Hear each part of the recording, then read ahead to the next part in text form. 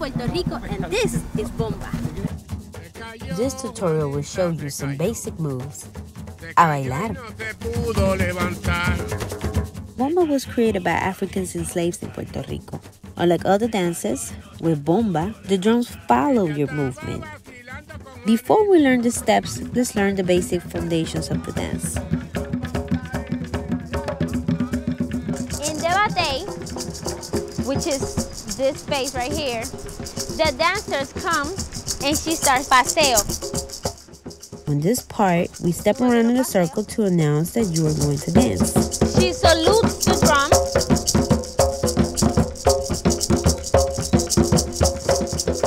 And when she feels ready, she starts doing the piquetes. Now in bomba, we call steps piquetes. So what we're doing here is the basic step of this style, which is called marullo.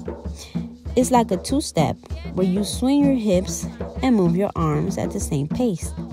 Imagine you're kind of creating waves with your skirt. Now this piquete is called abanico doble, a quick step. So here you want to shuffle your feet with your back heel pushing you forward.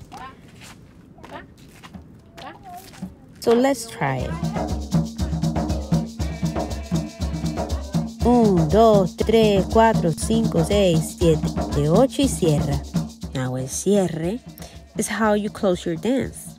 Think of it as a punctuation, like putting a period at the end of a sentence. So let's try it.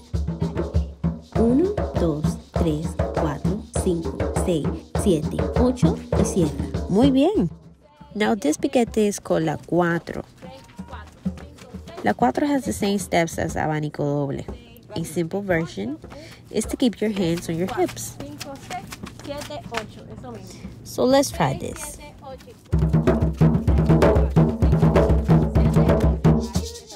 Now this piquete is called carrera para atrás. You're going to move your feet fast, just like a football player. You can also add some hand movements. You can do the látigo, moving your hand like a whip, or this move that I personally like to call la limpia. Imagine you're clearing bad spirits away from you. So there are different styles and rhythms in bomba. In Loíza, which has the highest concentration of African descendants, we dance a corrido. And we don't always wear skirts. It is traditional to dance without a skirt and even barefoot.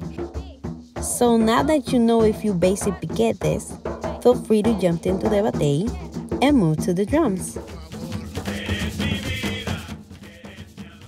So I hope you enjoyed this how-to. To learn more about Bomba, please watch our episode of If Cities Could Dance.